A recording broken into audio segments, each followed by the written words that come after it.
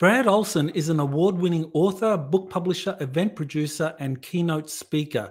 He's the author of 10 books, including three in the esoteric series Modern Esoteric, Future Esoteric, and Beyond Esoteric. He travels the world looking for OOPArts and he's recently returned from Laos investigating the Plain of Jars and the connection to ancient giants.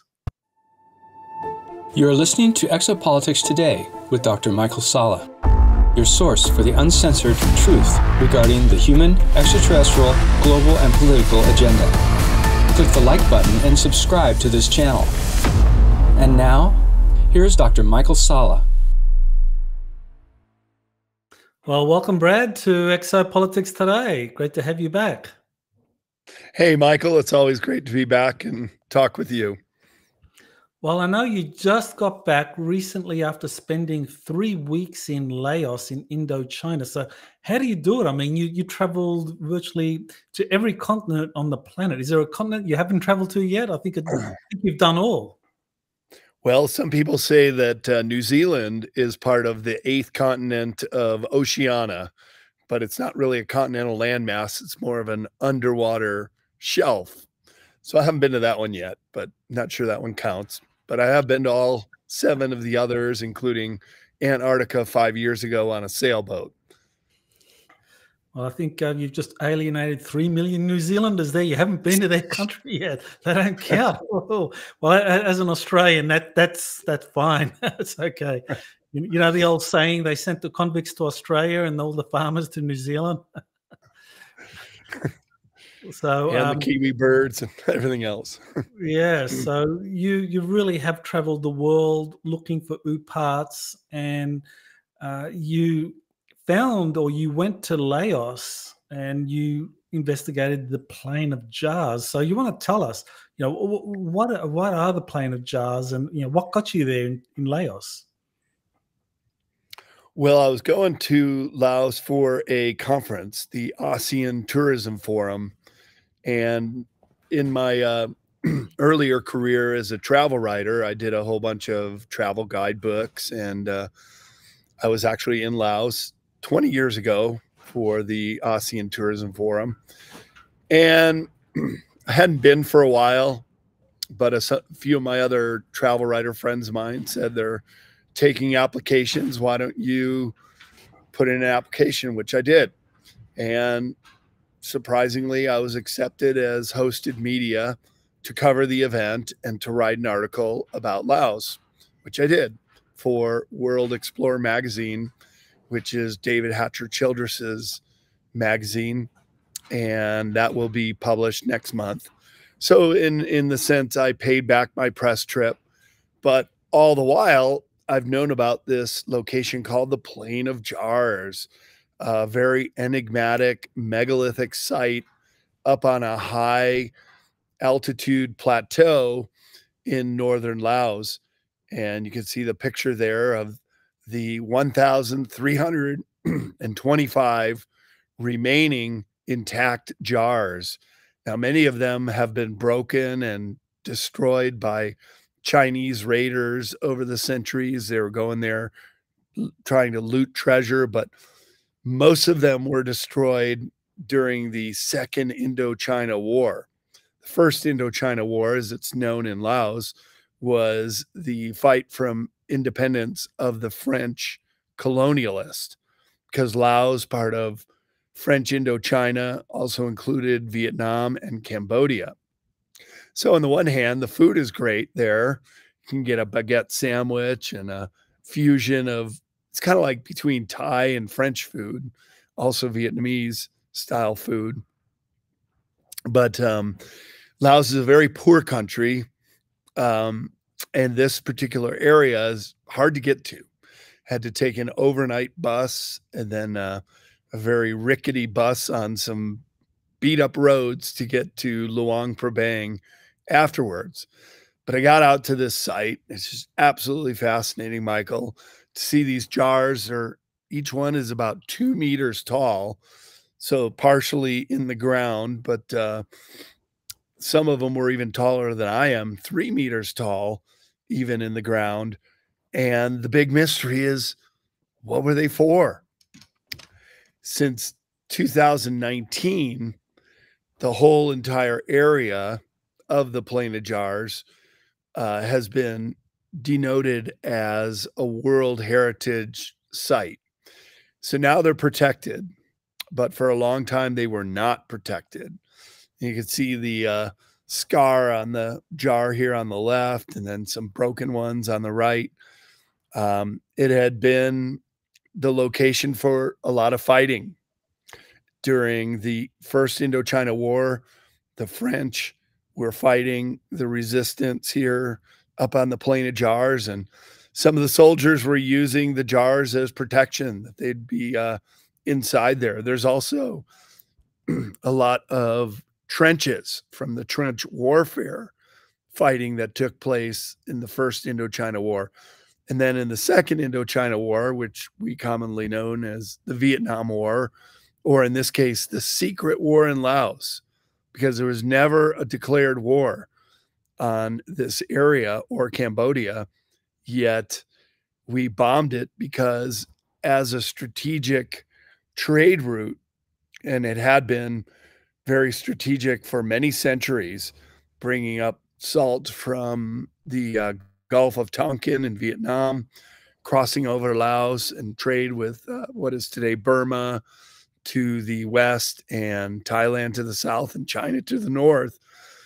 this was a very instrumental area for trade goods. And so during the second Indochina War, it was the location of the Ho Chi Minh Trail. And that's why the US uh, bomb this area so prolifically, making Laos the most bombed location in the world. Uh, and there are still unexploded ordinances that uh, kill or maim a, a, person every two weeks in Laos to this day. So it's still a mess, but uh, the jars itself are quite a fascinating location. So I know there was an official study done claiming that the, the jars were funerary urns. So what what do you make of that? And and did the jars what did the jars carry inside them? You think? My initial thought was that they were used as containers for fermenting rice wine or preserving food but the jars didn't have lids on them, even though they had a lip on some of the jars, making it look like they could have been used for the preservation of food or fermenting wine. But uh, an archaeologist named uh, Colani was out there, a French archaeologist in the 1930s. And what she found was that all around these jars were burials of bones, but not not laid out bodies as you would put a body in the ground, but they were stacked, and the bones were placed in such a way that uh, they must have been devoid of all the uh, organic matter down to just the bones. So the archaeologist Colani called them a second burial process if you want to show that slide of um, what they believe a second burial is, it's when you um, just put a body into one of the jars intact and then just leave it until it decomposes all of the flesh and organs. And then the bones are taken out and buried right alongside the jar. So the jars are kind of like a funerary urn on a plot where uh, the well to do families of some of these traders would uh, then collect the bones in the second part, free up the jar for another burial, and then they would bury these bones sometimes in another urn underground or just the bones themselves all around the jar.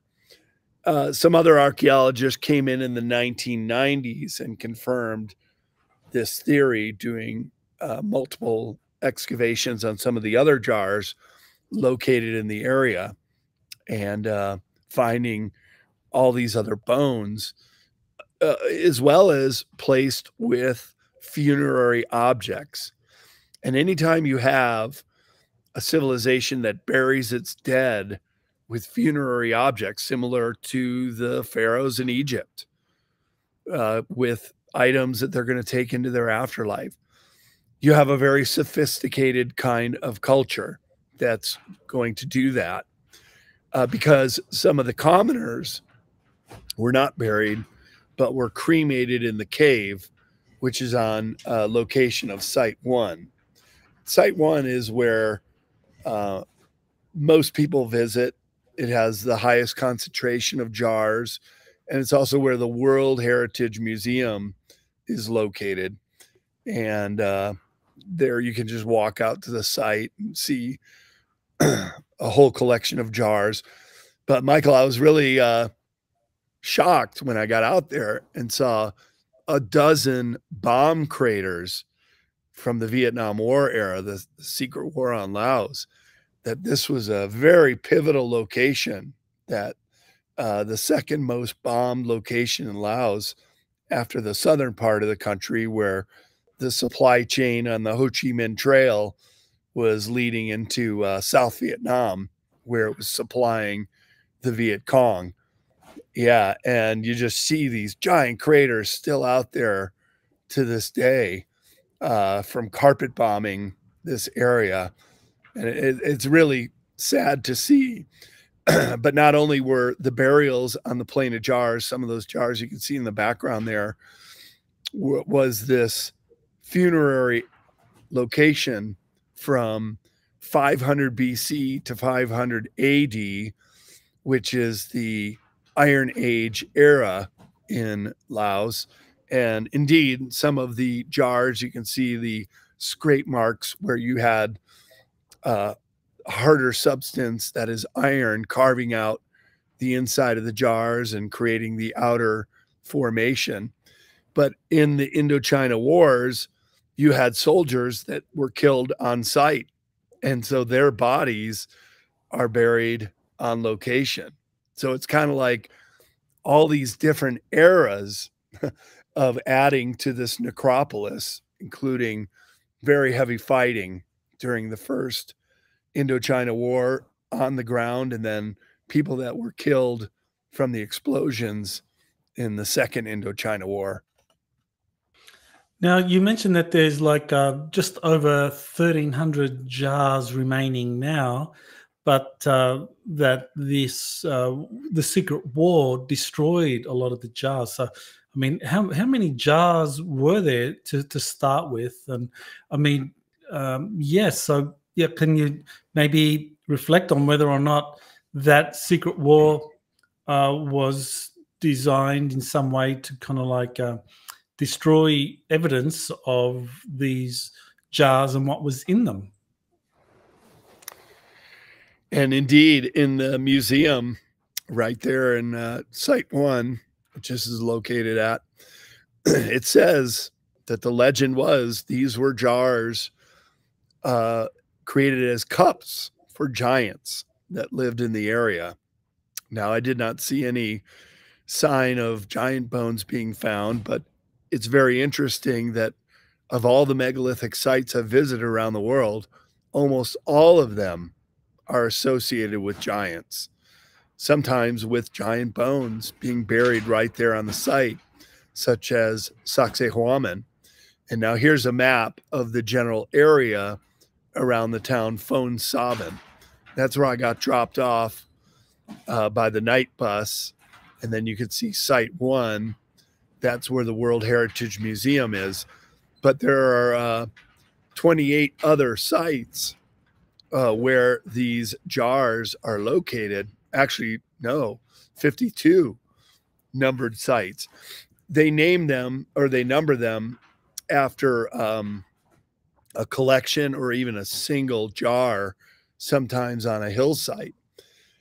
But what the uh, museum said, Michael, is they still don't know how these megalithic multi ton jars were moved from the quarry, which I know where the quarries were, uh, to these uh, sites, usually located on a high plateau or a mountaintop. Uh, anybody's guess how they moved these megaliths, which is also another commonality at Neolithic sites around the world. Nobody knows how they move these multi ton blocks to get them to their locations. And then they were carved out and created into these jar sites. But they had to go through dense jungle areas, they had to go over rivers and creeks, and they had to go up and down very steep valley hillsides to move them to their present location. So the um, connection with giants, these cups, it seems that I've heard like two explanations. One is that you mentioned this legend that the giants use these um, these uh, uh, jars like cups, and the other explanation is, is, that the jars actually held the remnants of giant bones. And you, you kind of like already described the funerary process. So, so, so, what do you think? I mean, um, were, were the jars really all about some kind of function they played concerning ancient giants in that area? Indeed. And there's also the legend that they were created by a, a king in northern Laos who may have been a giant, but commissioned these jars to be uh, for a celebration where they would ferment rice to create white rice wine, uh, storage of food. So when they had this celebration that lasted several weeks, all the people came up to the site and enjoyed free meals every day to celebrate this occasion about 2,000 years ago. Uh, and indeed, you see these megalithic sites around the world. I'll mention Egypt again, of the hieroglyphs showing very large human like entities with very small, commoner people.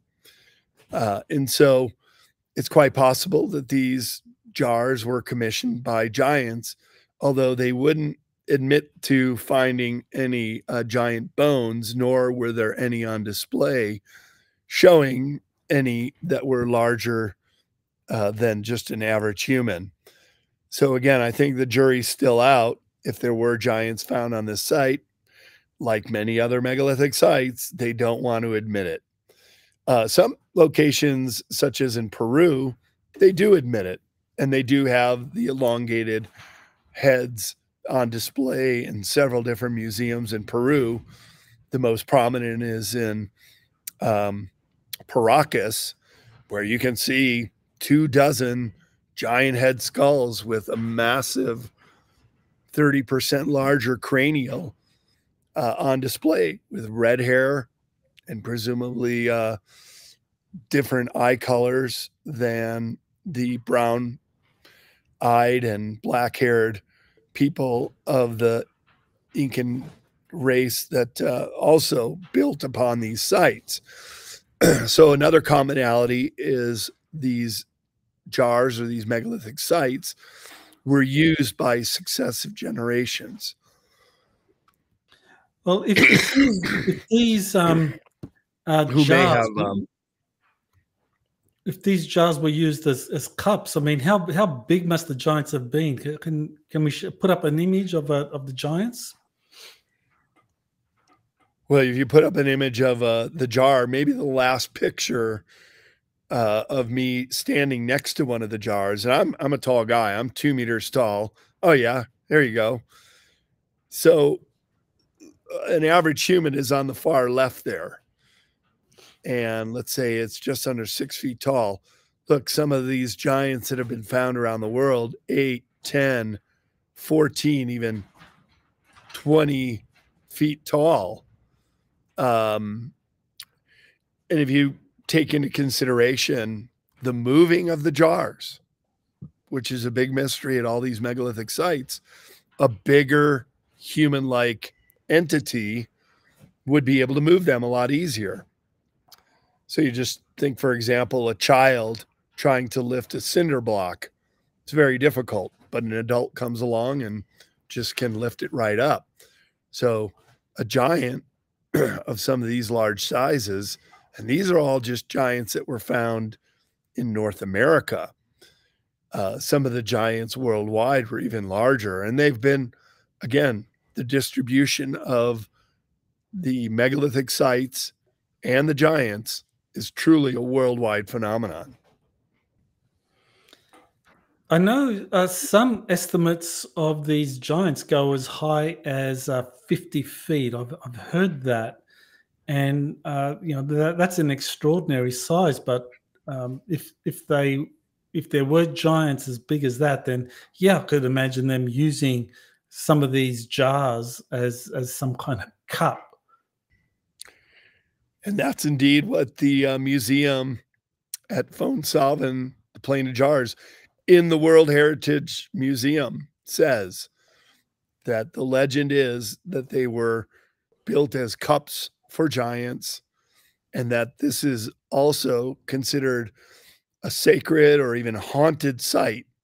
Uh, sometimes Buddhist monks will even go to the Plain of Jars to bless the area, but a lot of local people think it's a haunted site and don't even go there. Mm-hmm.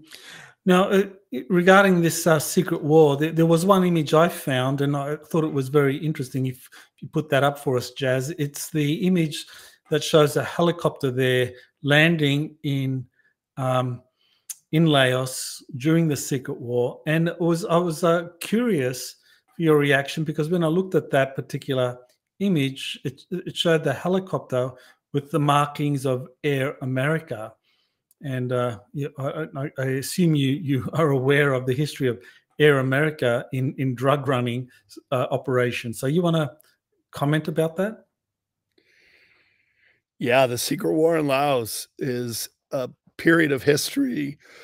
not only were Americans not told anything about from 1964 to 1970, but carpet bombed this very poor country. Remnants are still visible all over.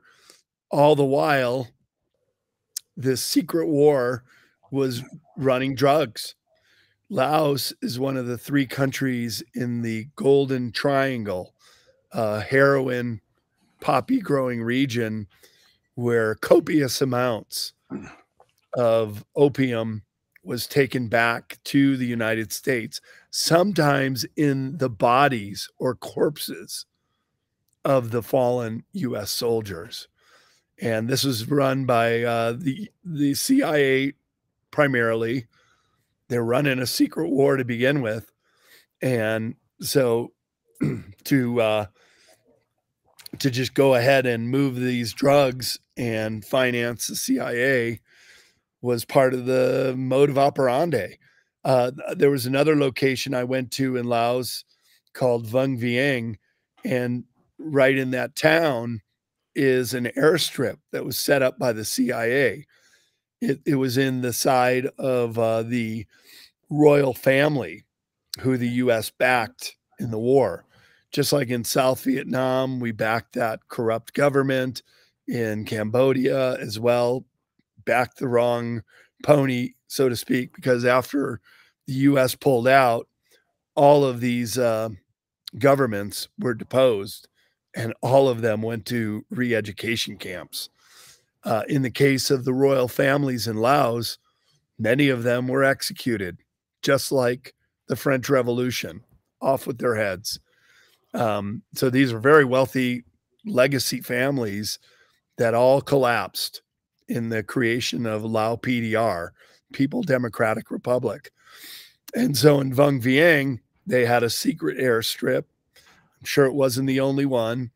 Uh, if a plane was flying out of Udon which was a base the U.S. was using during the Vietnam War to do those bomb raids over uh, northern Laos, if it got shot and had to make an emergency landing, they could get back to uh, Vang Vieng eh, or to get more fuel. But these were all illegal. They were all unknown to American Congress and the American people. that they were doing this drug running, that they were doing um, the secret bombing campaign, and they're also using MK Ultra techniques on these poor people of Laos. So you remember the movie uh, Apocalypse Now when they're flying out to go surfing and they're playing the uh, the March of the Valkyries and all this music. Well, they also would play horrible music of of rabbits screaming, being tortured, just anything to scare the people. Um, and they all did this under the peer view of the secret war in Laos. That there was um, quite a bit of skull drudgery that took place during those nine years when we were bombing uh, this Ho Chi Minh Trail. That was the uh, cover story. And of course, they did bomb it like crazy. And there you can see how it made its way down into uh, Cambodia. And that, but that area of the Plain of Jars was another route of the um, supplies that were coming in, uh, primarily via China, but through Vietnam, North Vietnam and it was very vexing to the uh, Americans that the Viet Cong were getting supplies and we couldn't shut it down despite more bombs being dropped in Laos during the secret war than were dropped during World War II in its entirety. That's how many uh, bombs there were. And yeah, these were the real bad ones these cluster bombs that had tennis ball size. Um, they called nickname was bombies. These little cluster bombs that if you just poke them with a shovel, they'll explode. And that's why still to this day, um, farmers and kids playing around will find one of these bombies and be maimed or killed. One person every two weeks, maimed or killed. So it's still a big problem there over 80,000 unexploded ordnances at the end of the secret war in Laos were left. And this is a uh, visitor center in Luang Prabang. UXO stands for unexploded ordnances. And you can see some of them were very big, could take out several buildings with those. But it's those cluster bombs that are really the menace to the people of Laos to this day. Now, I know we have done a uh, interview in the past about giants, and there was the connection to extraterrestrials. So I just wanted to get your uh, opinion about whether or not these um, the connection between giants and extraterrestrials was in any way relevant to what you found in the in the Plain of Jars. Well, if you look at uh, what these giants were, and based on the evidence of some of the skulls that have been found and even on display, uh, they had much larger heads than ours, um, 30% larger cranial capacity, 30% larger eye sockets, 30% larger connection from the spine to the skull. So they're very human like but they're not human. So if they're not human, what are they? Well, some people think they might be the Anunnaki. Some people say they are the Nephilim that are mentioned in the Bible that mated with earth women and had this offspring called the Nephilim. So it's really interesting. I do my uh, talk at conferences. I just did it last weekend at the uh, Conscious Life Expo down in LA. And I let people know that you could have a horse and a donkey and they can mate. They're two different species altogether, just as an Anunnaki or a human would be. And the result with a horse and a donkey is you have a mule, but the mule is sterile. A mule and another mule cannot mate and have offspring. So this could be the case with uh, the Anunnaki who took a, a liking to earth women and mated with them. And their offspring could be the Nephilim, who are just a one off, who weren't able to reproduce and continue going. That's why you see in many of these locations where giant bones and burials have been found that it's often just uh, a single generation and then it and it's over. The other thing that's really interesting, Michael, is the DNA tests that have come back from Klaus Dona and um, Brien Foerster have found that the mother is always an earth, earthling. It's always a matrilineal uh, DNA sequence, but the father is unknown. Same with the uh, star child skull of uh, Lloyd Pye was taking it around to conferences and showing people just an enormous head, uh, human like, but not human. And again, the DNA sequence came back a mother, human mother with an unknown father DNA sequence.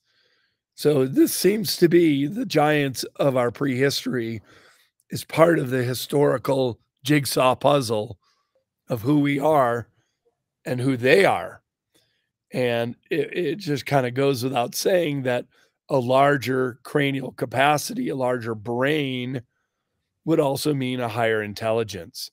And again, many of these giants were buried with funerary objects showing a very sophisticated culture that they came from.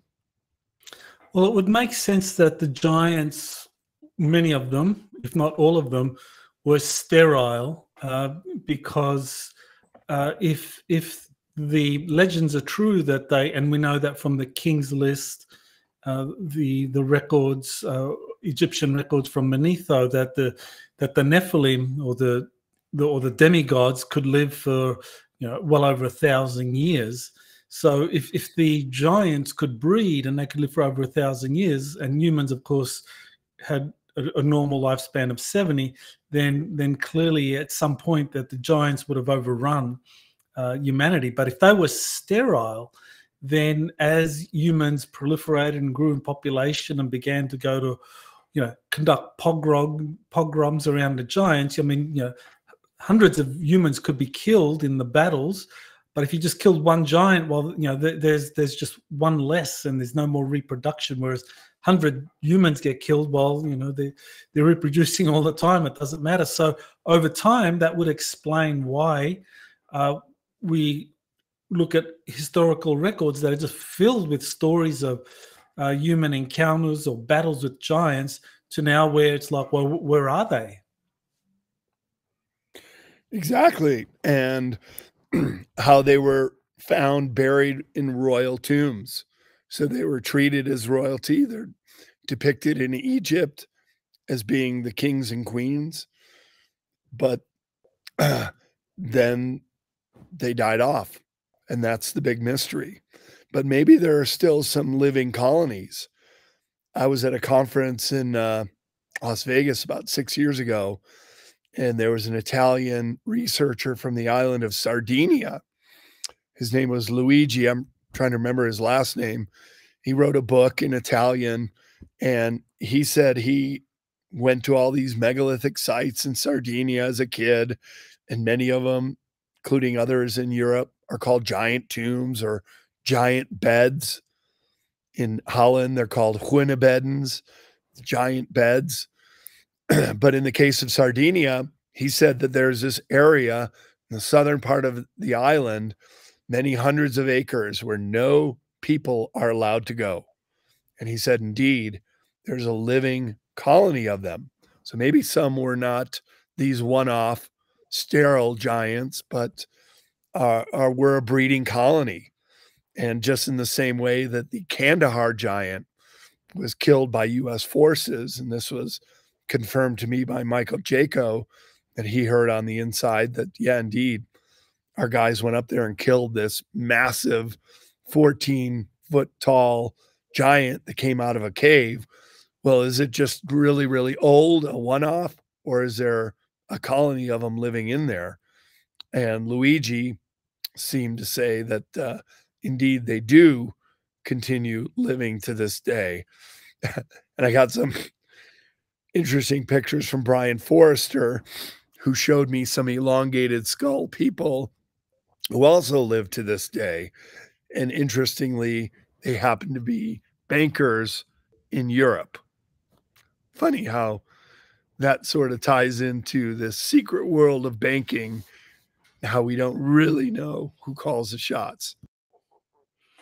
Well, one of the theories about uh, giants and their connection to extraterrestrials is that uh, the, the, giants or the the bodies were actually avatars for mm. extraterrestrials. That the, for example, the Anunnaki, they physically, I mean, they would arrive on their ships, they would park themselves in Earth orbit or in our solar system, but their bodies were kind of like not really suitable for for living on earth so they manufactured the giant bodies their scientists created these giant bodies as avatars for them to incarnate in and to kind of use for however long they needed what what do you think of that theory i mean we're talking about a subject that doesn't have a whole lot of answers. So these theories certainly uh, are worth looking into because we know that there these giants did live. We know that they were worshipped as uh, royalty and ruled as the higher caste of people. I find it interesting that the word Lord, which carries on from an old time, We've got uh, landlords as we know them today, that the gods were known as the Lord. And you even in England have the House of Lords.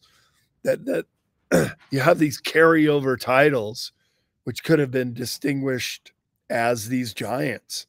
So whether they were here as an avatar or had a physical body and born and lived and died here on Earth, uh, one thing is certain is that they held a very high level in the civilizations they were at, including the Plain of Jars. These were the royalty that were buried around these jars, and the commoners were just uh, cremated and uh, also buried on the Plain of Jars, but not near or in or around the jars themselves. Now, you, you mentioned uh, there, there may be some colonies of uh, giants that are existing in places like Sardinia.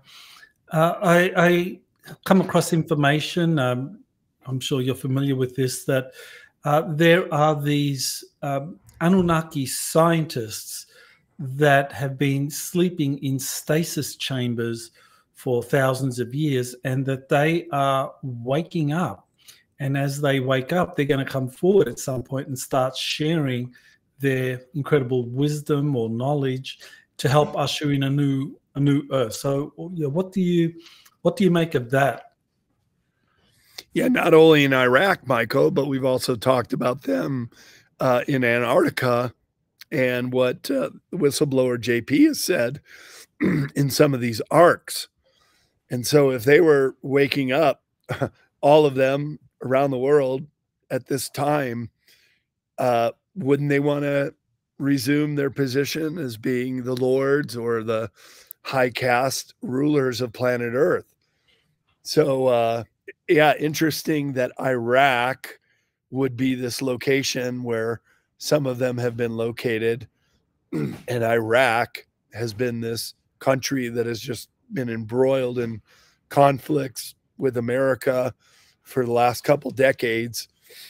Maybe it's uh to keep them from waking up. I don't know, but um yeah, I'm aware of those pictures of these giants that are not dead but in a state of stasis, like they're sleeping and how interesting that they look like the uh giants of Mesopotamia uh like that image to the right.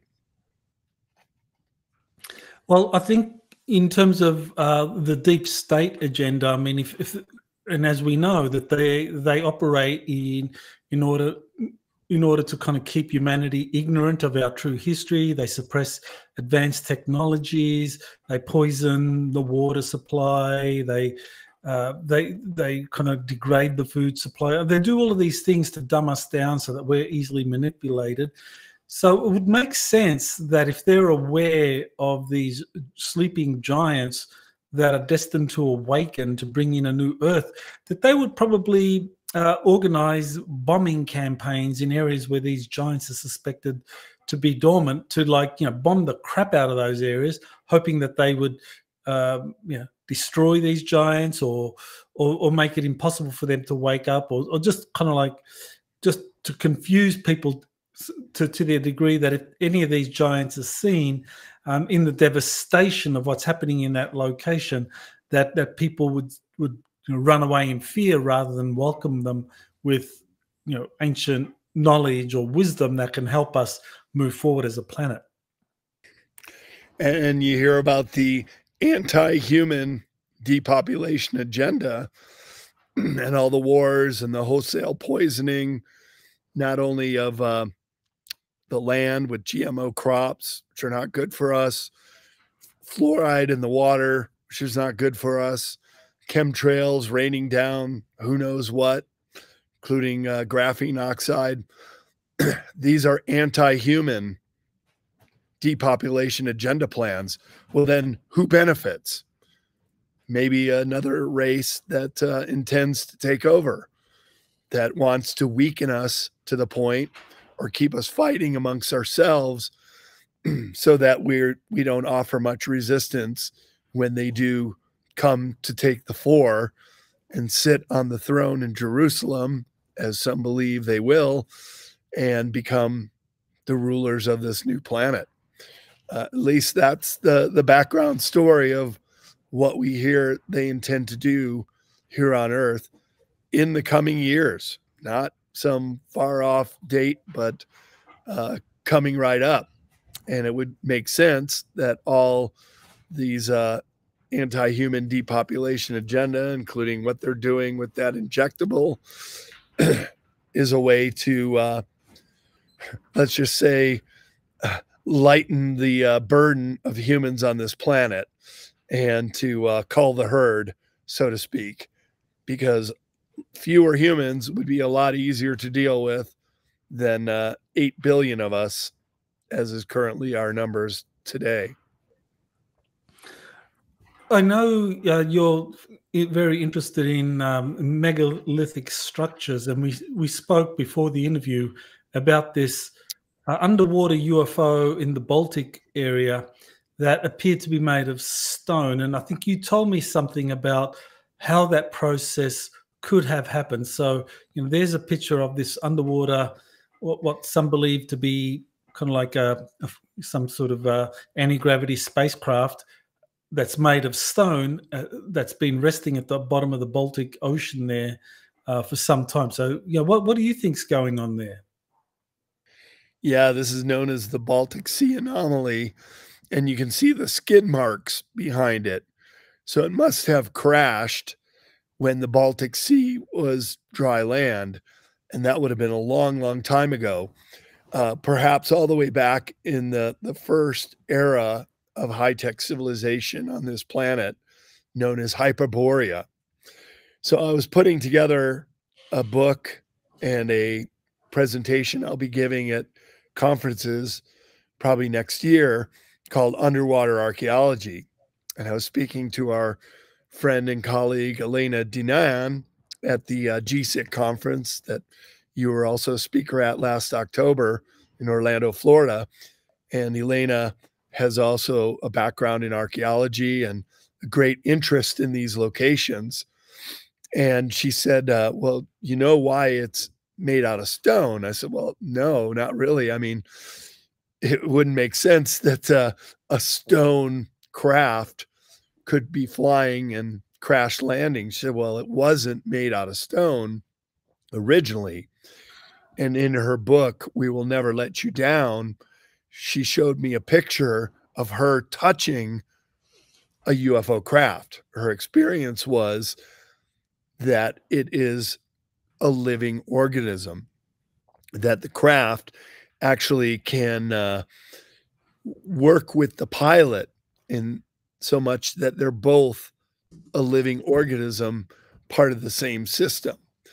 And so when the Baltic Sea anomaly crashed, indeed it was an organic craft.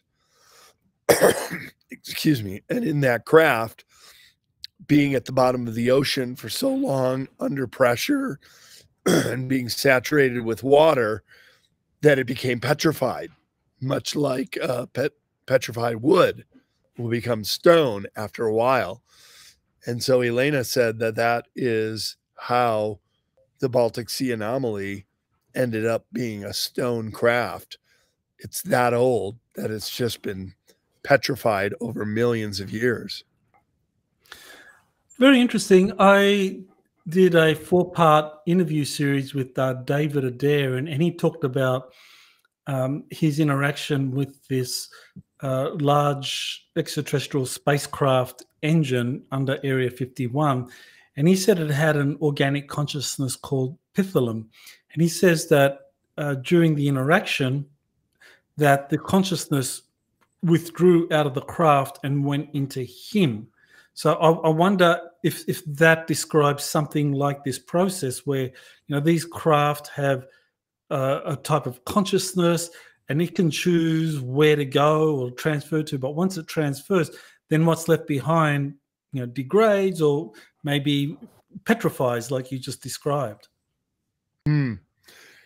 In my book, Future Esoteric, I get into how these craft are flown why many of them don't have windshields, don't have control panels as we know them in our aircraft, but they have these chairs, and one of which was taken to Montauk. It's called the Montauk chair.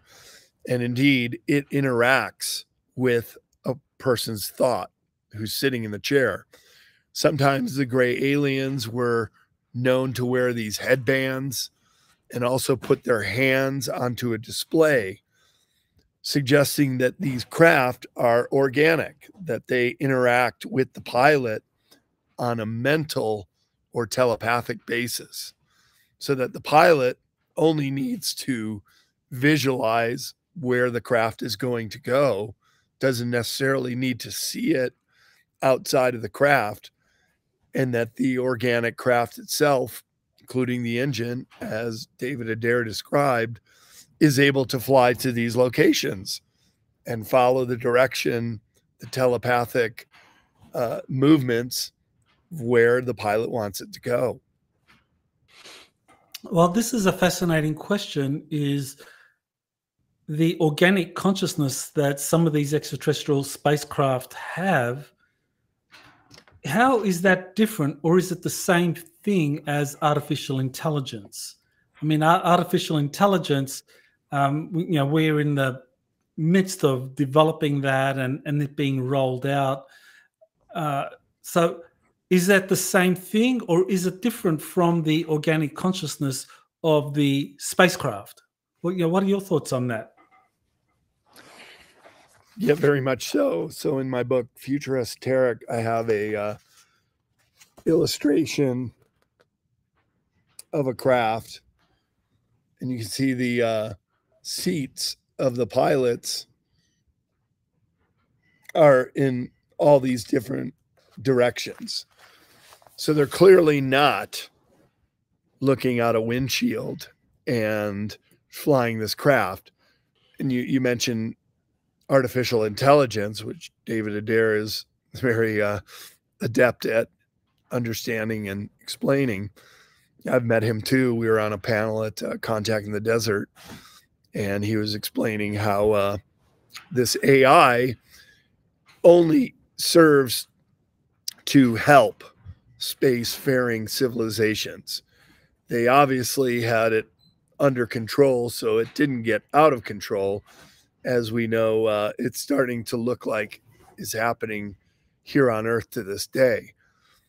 so we need to have a, a very in-depth philosophical discussion about how we're going to allow AI to basically function in service to humanity, never to harm us. And so uh, the, the other AI called Sophia that he works with, when asked, um, Do you see yourself being in service to humanity many hundreds or thousands of years from now? It didn't have a clear answer. It didn't know because it didn't know what course uh, human civilization was going to take. So that that's pretty interesting that we're kind of on the cusp of whether AI is going to get out of control or whether it's going to only serve us and also help us with uh, space exploration in the future. Yeah, that was David Adair's. Um, he he framed it as well. You know, AI in the future is it going to be like Data in Star Trek, or is it going to be like the Terminator? And right. and and it's like, well, what direction are we going to go? And, and the only answer that kind of makes sense to me, in a way, it's going to really come down to what our collective consciousness as a civilization uh, evolves into. Are, are we going to turn into an imperialistic uh, spacefaring civilization that uses AI to conquer other worlds. And if we go down that path, then then maybe AI is going to uh, morph into this kind of Terminator uh, problem. Or are we going to go down this more positive path of like we're going to use AI to help us colonize other worlds so that we can kind of share knowledge and kind of like uh, help others kind of bloom and flourish. And, and in that sense, it'll be kind of like you know the data version. So I, to me, that kind of makes sense. And yes, so in in terms of uh, humanity's future, yeah, I think I agree. We're on the cusp, and that would also explain why it seems right now people are so divided. I know. Uh, you know, you've. I have tremendous respect for Kerry Cassidy. I think she's done incredible work, but at the moment, she's really putting out a lot of information saying we're going down this AI path where it's going to be, you know, doom and gloom. And I think, well, hang on. Well, what about the positive extraterrestrials? And you know, they seem to handle AI pretty well. So, yeah, do you want to, you know, reflect on that? Well, uh, and I agree. We're we're at that crossroads. it could very easily get out of hand very quickly, or can, we need to rein it in and make sure it only serves humanity. Just in the same way you have robots now, Michael, that are coming out of DARPA. I've seen pictures of them dribbling a basketball and jumping up and slam dunking it.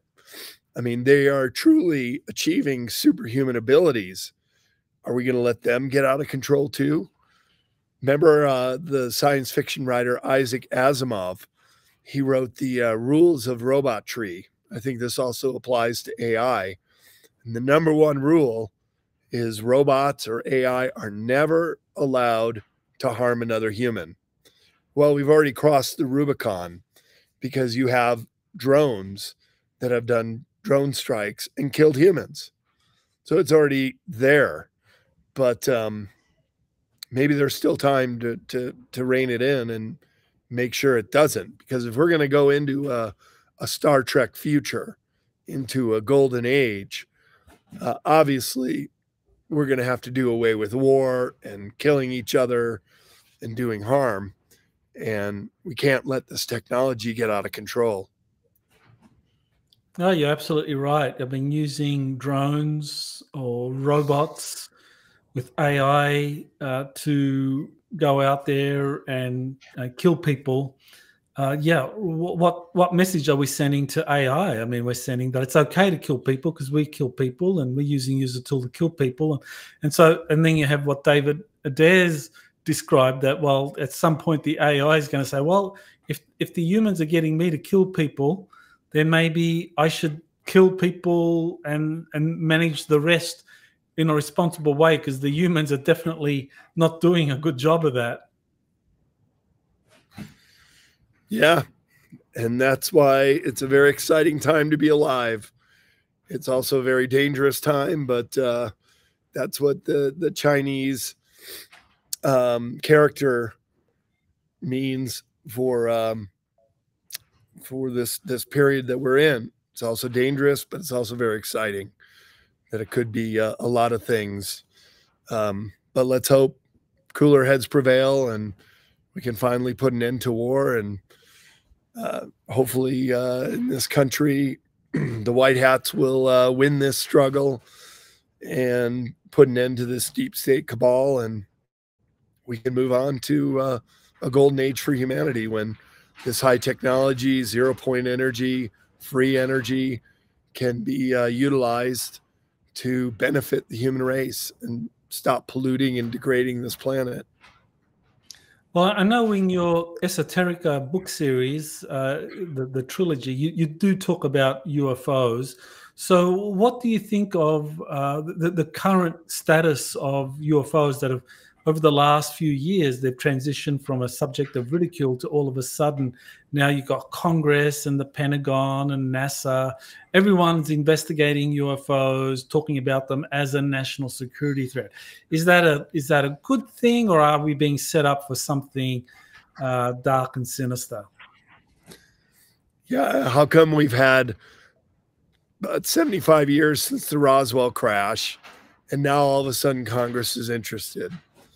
Why is it that uh, the news media is starting to take notice? And just last May on the NBC Nightly News, you have this guy, Lester Holt, come on and announce that the Pentagon has said that there's a mothership in our solar system. Apparently, it's still out there by Jupiter. How come this isn't the biggest news story of all time? Why aren't we still talking about it and trying to uh, understand what it is. But in this case, it was a one and done. I I just watched the Super Bowl a week ago, uh, not so much to be entertained, but to decode, and I couldn't believe how many commercials had UFOs or aliens in it. About one in three, crazy amount, and you see that happening all the time too.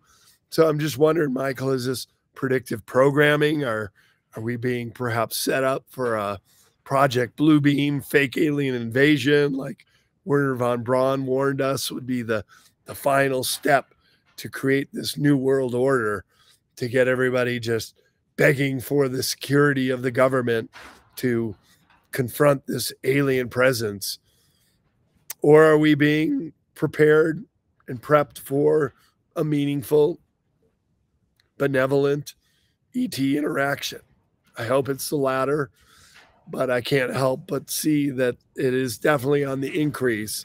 How much uh, UFOs, aliens, and ETs have crept into the mass media, into government hearings, and also uh, into the news media, where before they would just dismiss it as uh, kookville, that we're all just delusional and conspiracy theorists for even talking about it but now it's becoming more mainstream. Well, there does seem to be predictive programming here. Uh, I, I, know that uh, the uh, government agencies, militaries, they talk about the you know UAPs as this unknown that it, it could be uh, peer craft like Russian or Chinese. It could be some kind of interdimensional entity. It could be extraterrestrial, but they, are emphasizing unknown. And and of course, you had those incidents in um, the, in the Miami shopping mall in on New Year's Day. Then you had uh, you know in the Peruvian Amazon. Uh, you had those uh, kind of like giants or those uh, those kind of like beings on hovercraft terrorizing people. Uh, so uh, you know, to me, it seems like almost they're getting ready to roll something out where it's not clear whether we're being attacked by extraterrestrials, whether we're being attacked by China, whether we're being attacked by interdimensionals, but it'll be something really murky and unknown. And but there's somehow the deep state will say, oh well, you know, we need to you, know beef up funding, we need to do this, do that, and declare martial law, stop the elections, whatever. Yeah. And isn't it interesting, Michael? All this time we're told, oh, look to the skies, extraterrestrials, extra from another planet are coming down here to Earth. What about right below our feet? What about interterrestrials? Those beings that have been here all this time, possibly including giants. And then, as you suggested, ultra terrestrials, those interdimensional beings that can come phase in and out of our reality. And of course, many of the craft that have been observed will make that very sharp 90 degree turn, which seems absolutely impossible with our modern flying craft, and then disappear as if they're moving into another dimensional field. So there's so much that we need to learn in the field of exopolitics. And so glad that you devote this channel and your research and your books to helping us understand this coming world where we will be in contact with extraterrestrial beings and hopefully in a meaningful, benevolent way that we can learn from each other and, and help each other out. And I know we are being watched and they're very interested to see how the human race is going to either come together or destroy itself. And I think they want us to come together and find a, wor- a world of peace where we can end warfare and strife and environmental degradation. And that's the real exopolitics today is uh, the human element and our uh, treating each other and the planet and all the animals uh, in a humane kind of way. And then I think we can sit at the table with uh, galactic councils and represent humans on Earth. But right now, it must seem like the planet of the apes down here, where we're just a bunch of crazies still doing warfare against each other. But as long as we're divided, we're not going to be able to make that step in the right direction. So, uh, if we can just learn to get along, then um, I think we will have that seat at the table with uh, these galactic brothers of ours in the universe.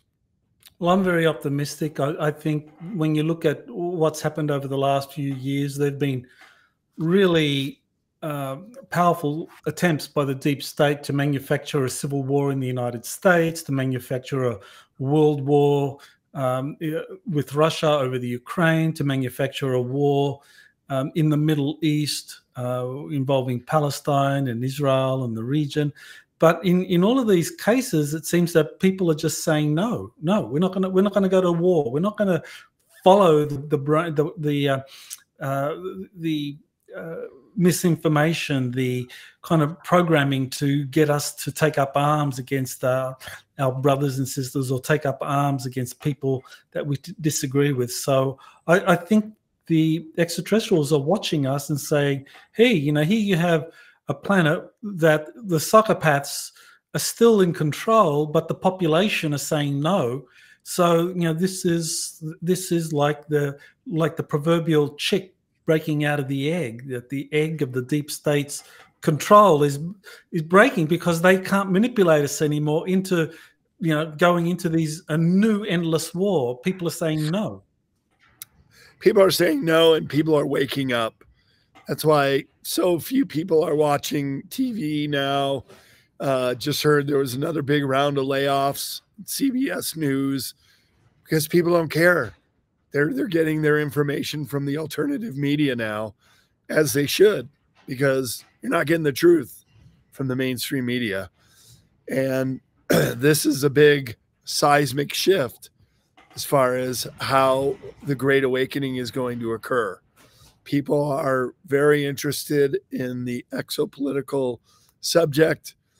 Um, our Star Trek future, which has really been withheld from us to this point.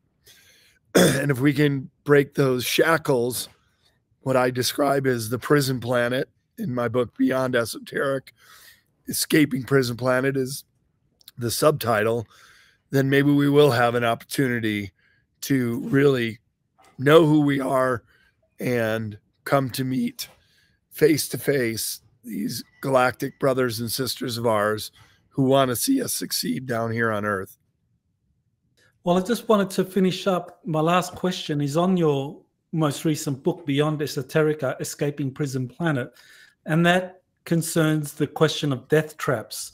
I mean, I, I remember many years ago.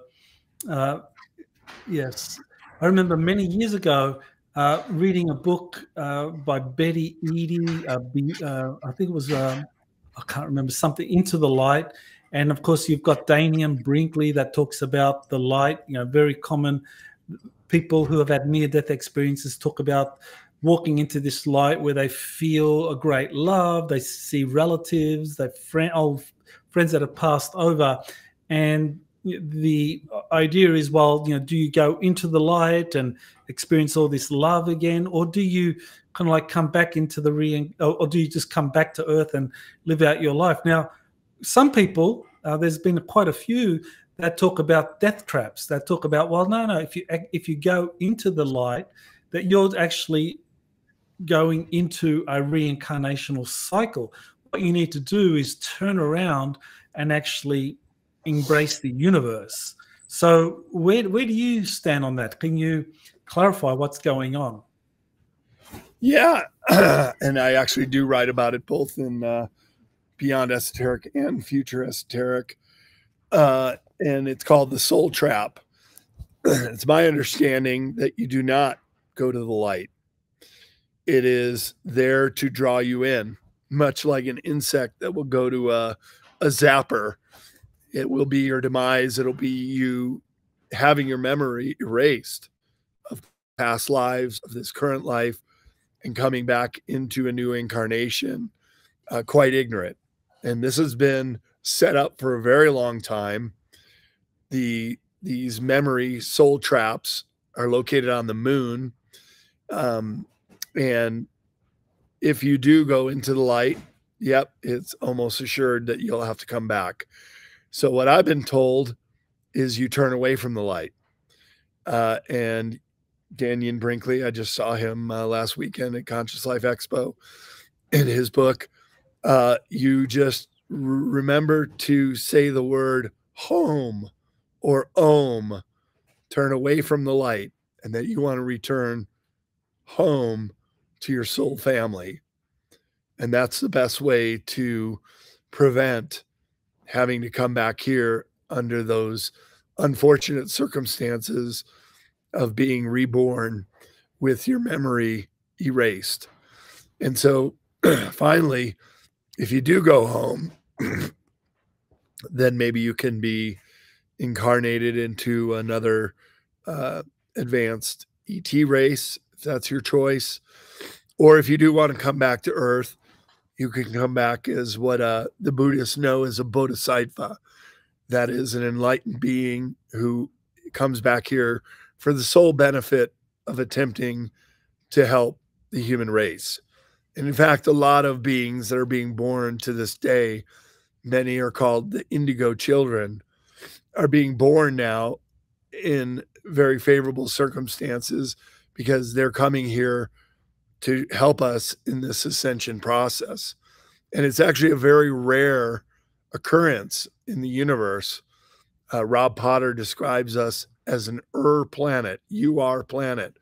And that's at a point where we're just waking up. We're just having the collective uh, occurrence where we enough of us are starting to see who we are and what we are and being able to help others in this wake up journey itself called the Great Awakening. And that's why so many benevolent ET races are watching us right now uh, from afar, but also here in our solar system, like that mothership that Lester Holt described in our solar system to see what the human race is going to do. And I know you've had guests on Exopolitics today and have described how many of these malevolent ETs have been removed from our planet.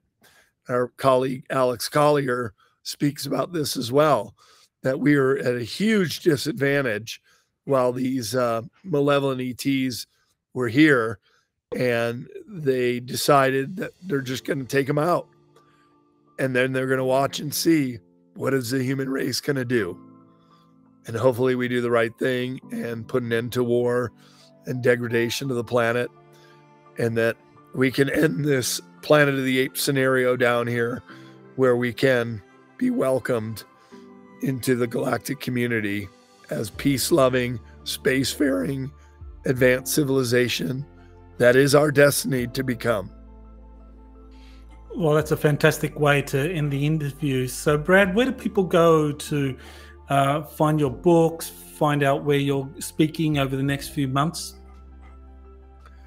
So, if you want to go to bradolsen.com, that has my upcoming conference schedule, as well as many other projects that I'm involved with.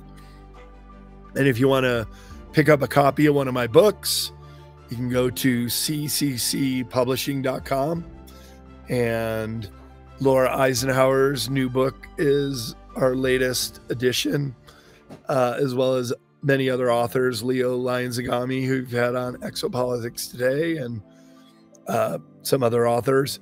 And if it's one of my copies, uh, you can go to bradolsen.com and link to cccpublishing.com, and I'll send out a signed copy of one of my books. Fantastic. Well, thanks, Brad, for being on Exopolitics today. Oh, my great pleasure, Michael. Always really nice to talk to you. Thanks for having me on. You have been listening to Exopolitics today with Dr. Michael Salla. Please remember to like, share, and subscribe to this channel. Join or start a conversation in the comments. Take the time to explore the vast library of best selling books, webinars, and podcasts by Dr. Salla. Visit exopoliticstoday.com.